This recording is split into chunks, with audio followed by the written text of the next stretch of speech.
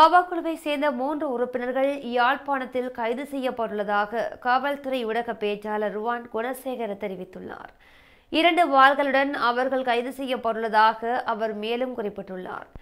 யாழ்ப்பாணத்தில் அதிகரித்து வரும் வாள்வெட்டு சம்பவம் தொடர்பாக கடந்த காலங்களில் பல்வேறு முறைப்பாடுகள் பதிவு செய்யப்பட்டன.